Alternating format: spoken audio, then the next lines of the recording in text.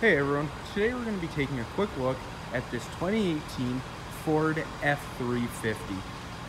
This turbo diesel workhorse comes with leather heated as well as cooled power seats, your power options, your steering wheel, cruise and audio controls, your Ford infotainment system, and the rest of your power options.